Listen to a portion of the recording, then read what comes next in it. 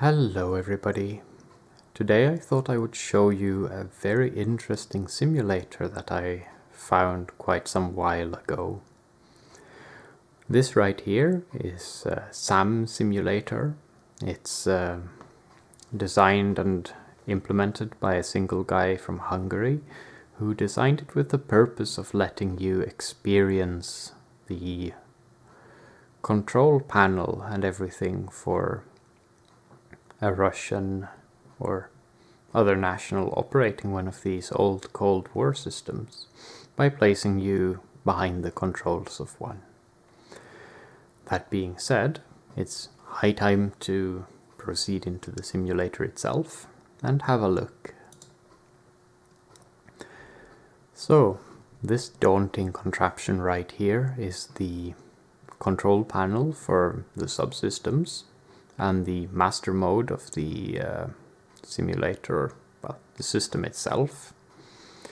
We have the elevation and azimuth display for the target tracking radar, which is a, uh, a machine designed, well, to track the airplanes really, while there's another radar responsible for locating them.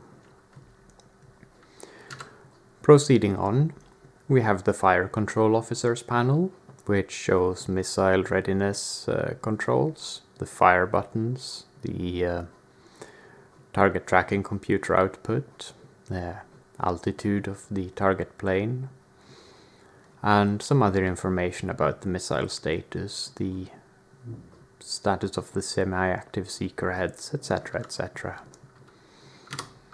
We have the target finding officers uh, section, which um, houses some displays from the target uh, tracking radar, also named the square pair. It's these two things here that show Doppler return and uh, also uh, general information about a sector search and whatnot. We'll get to it. This is the display from the target finding radar, the Tall King B, which is quite a nice name for a radar, I think. Finally, we have the target tracking officer station with an ammeter for the range and a display for the velocity of the uh, incoming target. As it is a Doppler radar, it actually does require you to track the target in velocity as well as uh, all of the other areas. And these buttons are related to range finding and the tracking modes that will be applied. All of that being said, Time to start the machine up. We switch it to the startup mode. We turn on the power to the square pair target illumination radar. We turn on power to the cabin.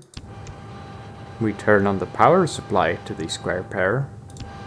And we turn on the high voltage. Then we switch to the run status.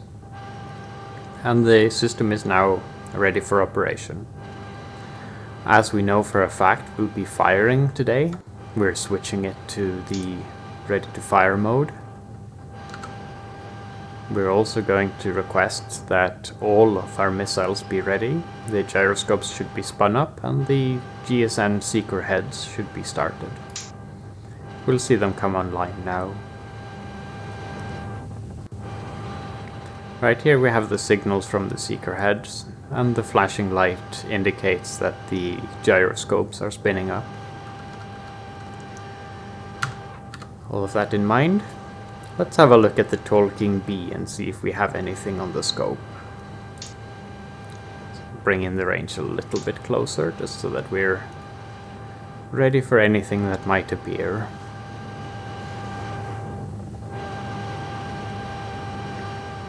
And you can see the traditional radar sweep, just scanning the general area. We'll be expecting targets within this range as we are on the practice grounds, and there we have a blip. So what we'll do is we'll turn the square pair towards the target. We'll see that the range is approximately 75 kilometers, so we'll we'll turn the range switch down there as well. And we'll see the range gates now on scope. Finally, from the IAD, we see that the target is at 135 hectometers, so 13.5 kilometers. Note, we'll, um, we'll set that as the target altitude by changing the elevation of the square pair and taking a reading of this meter right here. Looks about right. So we turn on the radar to the default mode, which is monochromatic emission, and boom presto, we have we have a target straight away. Well, we had one. Let's try that again. Do a conical search. Yeah, he is in the upper... Come on now. There we go. So we go to the target tracking officer and we adjust the velocity and set it to AS3 tracking. So now it's locked in elevation and azimuth, but we still need to find the exact range. For this we'll use half phase code manipulation or modulation in rough Nonius mode, which allows the computer to calculate the range to a precision of about 15 kilometers. Then go into medium Nonius, which is about 9 kilometers, followed to fine, which is about 2 kilometers, and finally to 55 kilohertz, which gives us about 90 meters. We'll track in range, go into full phase code modulation, turn on the ASPMU, which is the target tracking computer, and we now have a full lock and we're ready to fire.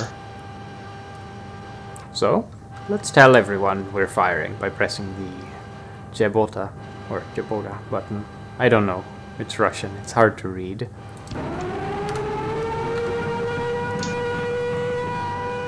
Prepare launch safety. Fire.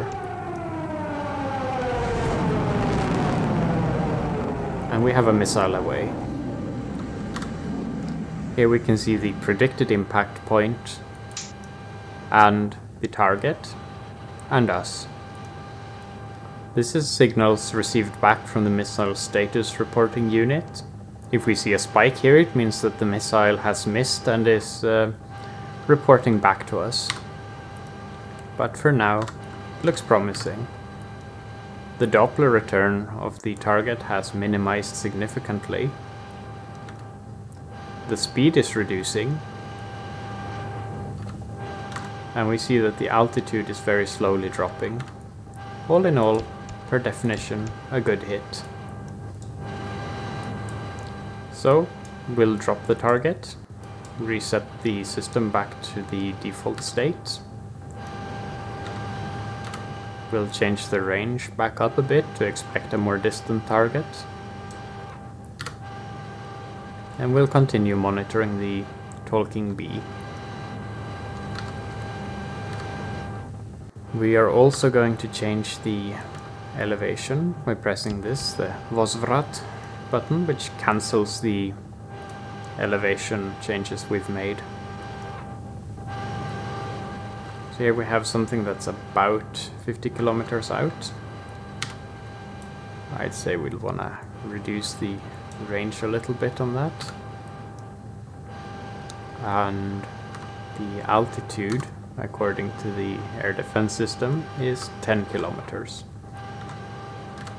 So we'll raise the square pair a little bit just to get to that 10 kilometer sweet spot and then do a conical scan.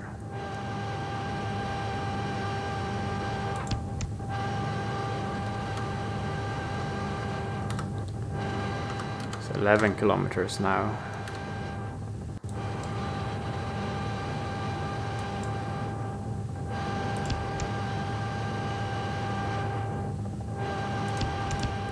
Can also do a sector scan, but it's very close now. So the question is, perhaps we should acquire it through the air defense system instead.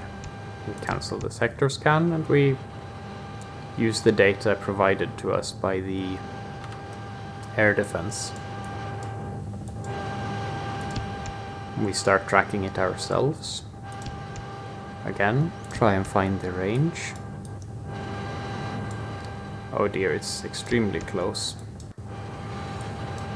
So...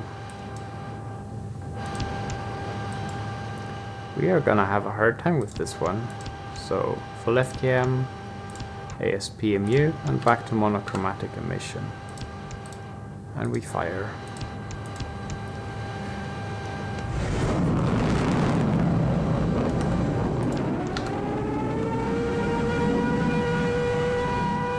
Hopefully we can still hit it. We'll see here if we didn't. Oh, we did. Good hit, good hit. Doppler return is reducing. We uh,